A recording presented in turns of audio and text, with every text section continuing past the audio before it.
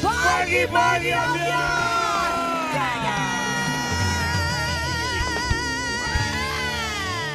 Ambiar, kalau Sobat Ambiar selalu bertanya-tanya kenapa sih di setiap kita pembukaan pagi-pagi Ambiar selalu ala- ada Karena alat masak. kita mau memberikan Iya. banyak berkah buat pemirsa. Tapi sebenarnya Wow. kalau Hari ini dipikir-pikir ya, namanya Visem saya guys. Kalau dipikir-pikir alat masak ini sebenarnya merefleksikan hostnya pagi-pagi Ambiar. Betul. Lihatlah kocokan ini. Kocokan ini menggambarkan King Nasar. Ya. Karena selalu mengocok perut Kalau kita. aku, aku, aku. Kalau kamu lihatlah pisau ini. Oh. Ini sebenarnya bukan kamu sih, lebih ke alis kamu kalau pisau ini ya. Mencukur alis. Kalau ini, kalau ini. Kalau ini blender, karena blender ini merepresentasikan pagi-pagi ambiar yang selalu menyatika, menyatukan Ambiar. sobat ambiar. Betul. Kalau Dewi, Dewi, Dewi. Kalau Dewi Persik ini dong panci. Panci. Panas. Ya silakan yang mau bisa saja di order langsung aja Bukan ya. on order, gratis ini. Ini Oh, kita udah gratis, beli ini gratis. berbagi berkah Oke. sayang di bulan suci Ramadan. Ya, sobat Oke. ambiar Ah. seperti biasa kita bagi-bagi alat rumah tangga. Gimana caranya guys di ambiar berbagi berkah? Geng,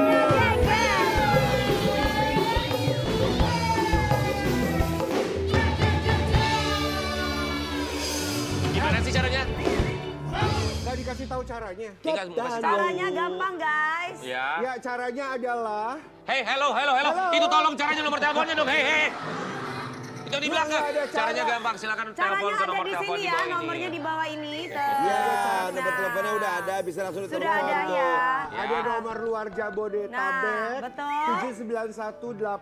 791877700 Ya. lagi 021. Jabodetabek Atau di- 02179187711. Ya, itu nomor teleponnya. Nanti kita akan mulai untuk kuisnya Kalau berbagi kita bilang halo. berikutnya. Ya, kalau kita bilang Ambiar berbagi berkah, jawabannya adalah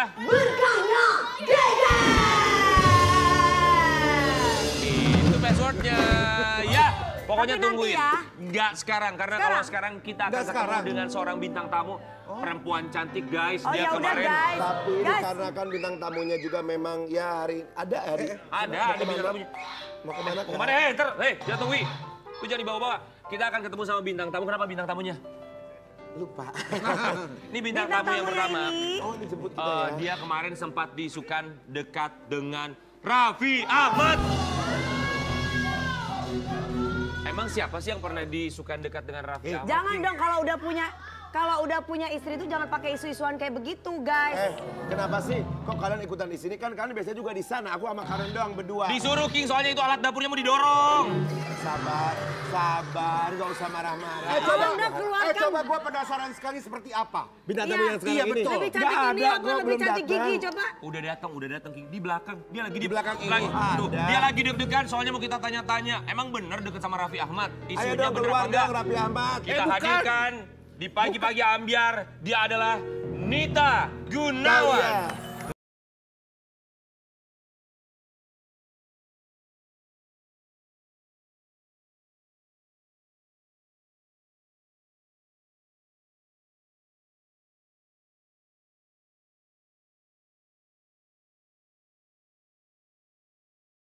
Apa kabar Teh? Kapan keluar album baru lagi Teh? Kok album baru? Kita Talia kan? Bukan. Kita Talia.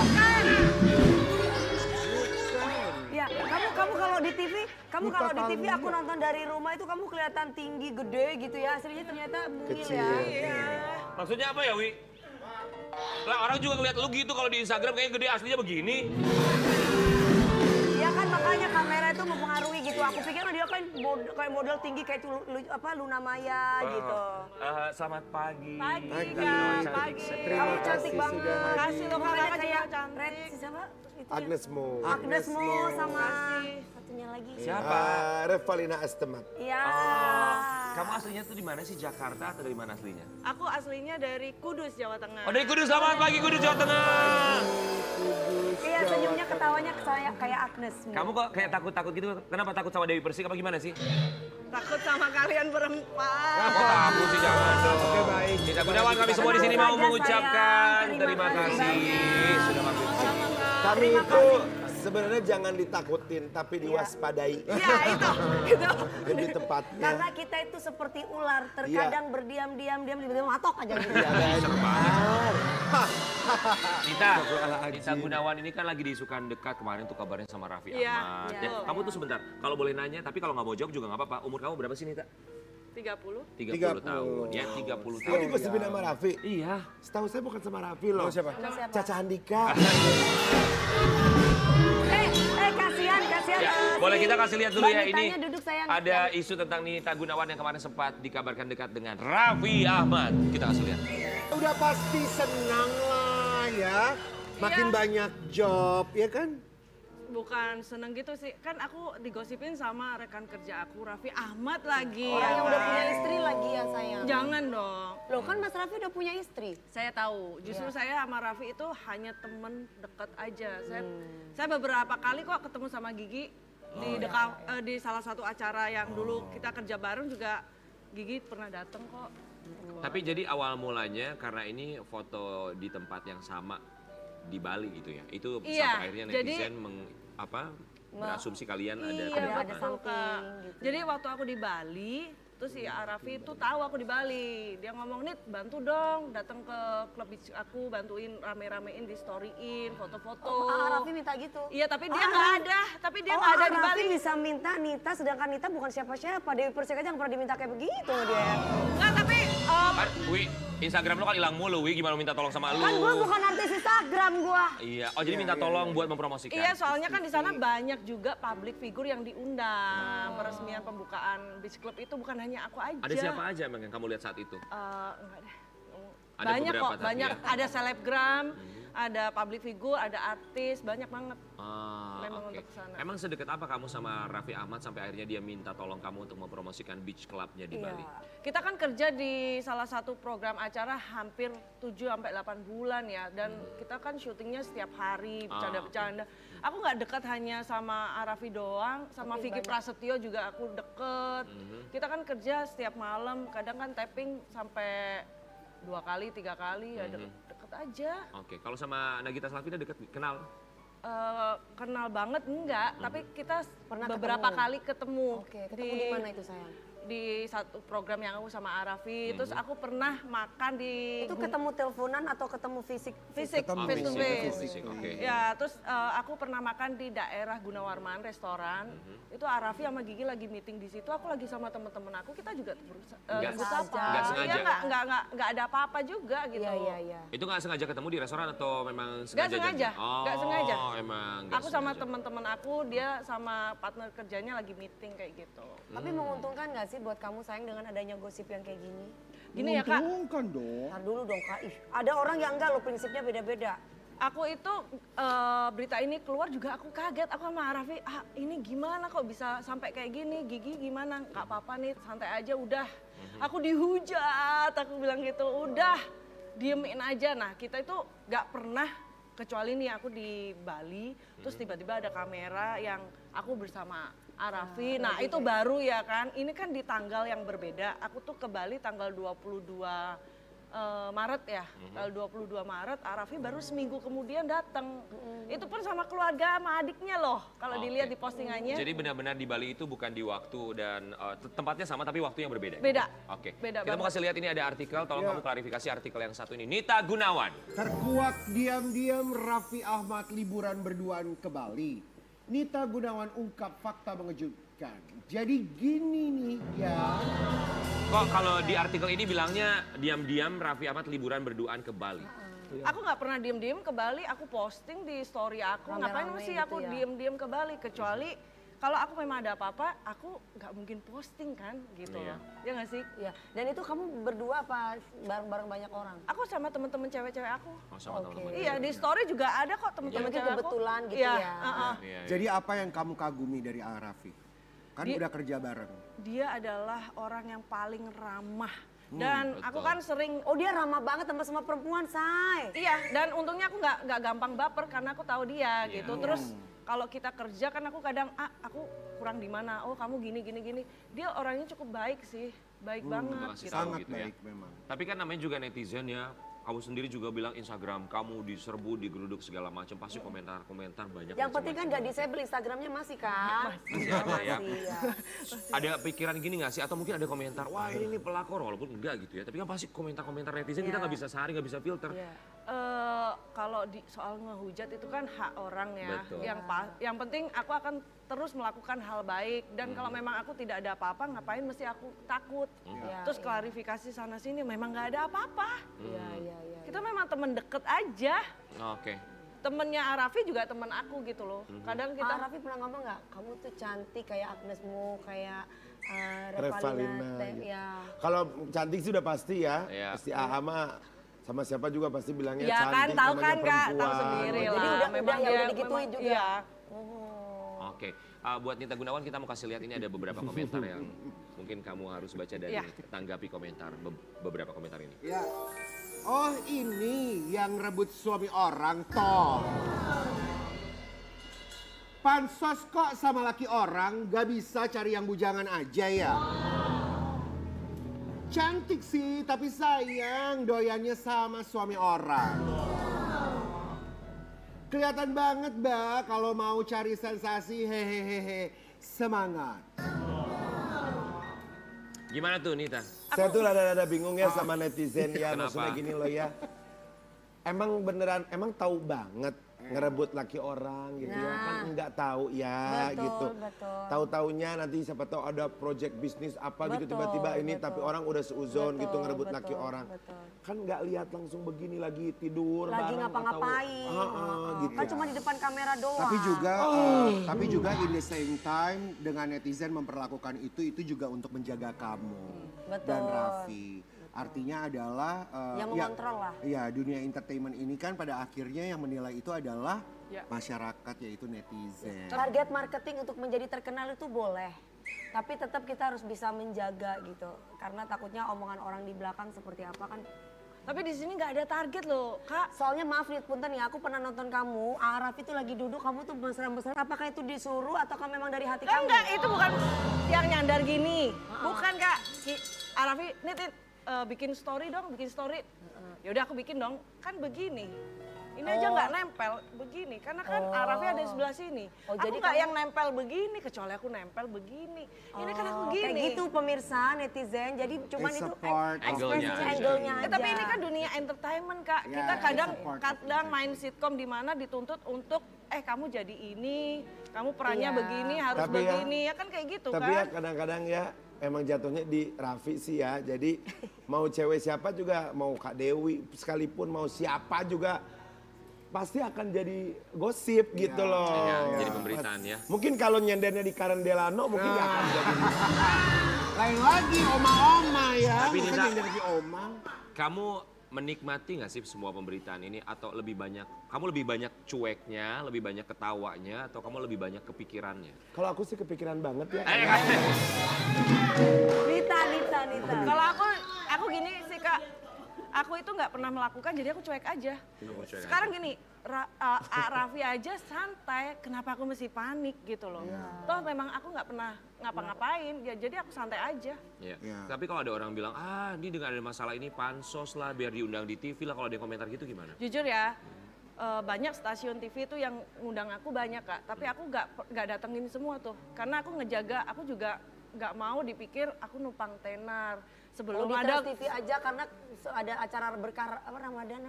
Ramadan itu berkah. Iya. Ya, ya, dan gini sih kak, kalau aku bilang, aku tuh kan kerja sama Raffi sebelum gosip ini tuh sebenarnya aku udah digosipin sama Arafi sebelum-sebelumnya itu udah pernah di acara yang dulu aku sama dia. Jadi aku nggak nggak perlu kayak mesti datang klarifikasi sana sini. Orang juga udah tahu kali yang followers aku nih yang lama nih kak. Aku nulis caption itu memang dari dulu memang kayak gitu. Itu selalu yang followers baru selalu ngomong, ah lu kode sama Raffi. Kan bisa dicek tiga bulan yang lalu, lima bulan yang lalu memang aku captionnya suka kalau nggak pantun, tebak-tebakan pasti aku akan ngomong ayang. Oh gitu ya, kamu selalu manggilnya gimana, ayang. Karena kan Oke. basically, basically uh, followers aku kan kebanyakan cowok nih. Aku pengen interaksi aja. Cara kamu buat dekat sama Iya. Iya. karena aku dekat banget sama followers aku. Jadi kamu pilih-pilih, maksudnya tawaran TV itu banyak tapi kamu nggak ambil semua. Terima kasih banyak sudah mampir ke bagi-bagi ambiar loh. kita loh, dia mau datang ke sini. Tapi kabarnya kemarin juga sempat video callan sama Nagita Slavina ya? Betul. Arafi ya. Itu gimana Arafi ceritanya? kamu, sayang? Arafi. Jadi Arafi ya. di- Kita buka lihat dulu ya sama Iya. sobat ambiar ya. Seperti apa ketika momen antara Nita Gunawan dan juga Nagita Slavina video call. Ya. Aku tuh juga Ya, kenal sebenarnya aku juga sih- kenal sekali pribadinya Nagita Slavina. ya. Gigi itu adalah orang yang sebenarnya sangat cuek. Iya. Uh, dan uh, pengabdiannya Gigi juga sebagai seorang istri itu sangat luar biasa. Artinya dia juga tidak tidak banyak curiga sebenarnya kok sama Raffi. And I think she knows understand kalau ini cuma bagian part dari pekerjaan. Mudah-mudahan memang waktu pertama kali keluar dengan berita seperti itu and I was like, ih apa nih ada apa gitu ya. Tapi mudah-mudahan apa yang di, digoreng sama netizen-netizen itu menjadi penjagaan aja. Karena kalau memang tidak tidak benar kan, tidak benar adanya ya ya santai aja gitu karena memang Iya. tidak benar. Aku juga kadang kalau di lokasi syuting suka ngomong sama "A, kamu tuh beruntung sama Gigi. Gigi tuh cantik, Sangat sabar, baik baik. Tanyain deh Arafi, aku selalu Ini ngomong kayak gitu sama kayak dia. Gigi itu Iya. orangnya cuek, tapi sebenarnya dia itu bukan cuek. Iya. Dia memantau, dia melihat. Nah, karena biasanya kayak gitu loh, perempuan itu diam-diam, dia ngerti, Itu kalau tahu. kalau kita lihat kan sempat dimatiin sama Gigi. Kok dia matiin? Menurut kamu kenapa? Sa? Ngelihat muka kamu terus langsung dimatiin itu video callnya? Ah, sebenarnya itu tuh aku nggak mau ngomong di sini karena Arafi juga waktu itu udah ngomong wah ini video call ini gini mending ngomong sama Arafi aja lagi ada apa tuh saat-saat itu gitu. Emang apa yang kamu tahu?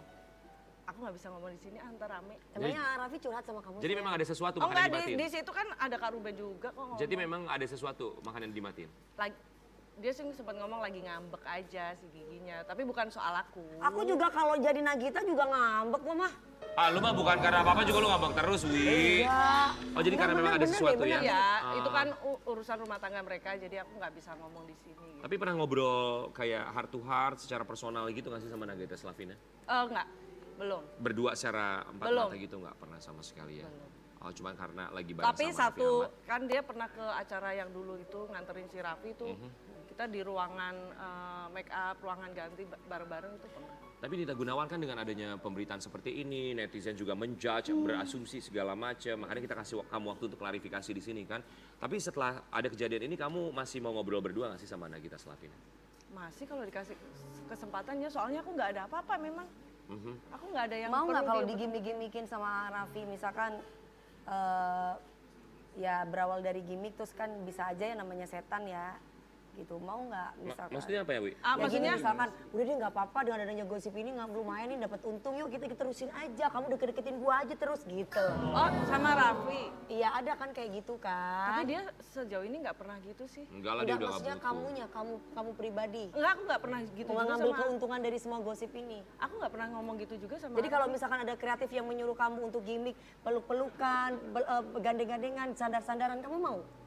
Kalau acara kita memang dalam satu peran kalau sitkom dan lain Memang sebagainya seperti memang itu. harus begitu ya mau gimana lagi Iya. Oke. ya nggak sih kak kita kan profesional kerja ya Iya, kecuali eh, disuruh pelukan disuruh rangkulan tapi di acara iya. yang nggak nggak nggak sinetron Ya, komedi bentar, bentar, bentar, apa- maaf ya Nita Gunawan. Wi, pindah tempat duduk, Wi. Udah mulai gak enak lihat dulu soalnya, udah gak enak. Udah, udah dulu. Eh, Udah. Eh, Ntar eh sayang kamu kamu nggak sakit hati kan dengan pertanyaan aku kan? Enggak. Enggak ya, enggak. Kan ini mewakili kan, ini kan bener dalam dunia entertain nggak semua orang tahu. Iya, iya. Ini mewakili supaya mereka tahu bahwa kamu memang nggak ada apa-apa. Iya. Pokoknya pokoknya kalau kamu memang tahu yang benar adalah tidak ada apa-apa, nyender. berarti kamu juga bisa mengungkapkan apa yang kamu mau ungkapkan sama Nagita Slavina. Coba kamu bilang apa sama Iya. Nagita Slavina? Eh, di sini ya Hmm, dong. Kak Gigi eh, percaya aja deh aku sama Raffi tuh nggak ada apa-apa. Bahkan aku tuh kenal sama Raffi itu ya kayak temen deket sih. Kita kan kerja bareng, nggak hanya Raffi. Vicky, Vicky Prasetyo lah. Itu kan kita kerja bareng jadi memang nggak ada apa-apa sih. Aku juga bingung nih, aku mau ngomong sama netizen boleh nggak sih? Boleh, Ya, silakan. boleh. Boleh, boleh, boleh, boleh. Eh, kalian yang bikin berita, kalian yang fitnah aku, kalian yang ngehujat aku. Jadi kalau ada yang bilang kalau nggak benar, kalau nggak pansos, ngapain nggak klarifikasi? Why? Kenapa mesti aku klarifikasi orang berita yang goreng kalian? Ya kan? Nanti aku klarifikasi, kalian Kepesan akan benar. ngomong aku cari panggung, pengen diundang ke TV. ya, ya, ya, Jadi menurut aku ya semua yang punya pikiran negatif mau dijelasin seperti apa pun itu akan tetap jadi negatif. Jadi solusi aku sih Biar Tuhan ya. yang ngejawab nanti suatu saat bener atau enggak. Nita Gunawan, seandainya Raffi Ahmad masih single, belum punya istri, belum punya anak, kau mau? Ya mau lah. Kalau single mau, Kalau single mau Iya. ya? Kalau Vicky Prasetyo? karena Udah Ora single, lah. udah duda, tuh, udah duda. karakternya gitu aku Hai sobat Ambiar, nanti kita bakal balik lagi tetap di Pagi-Pagi Ambiar.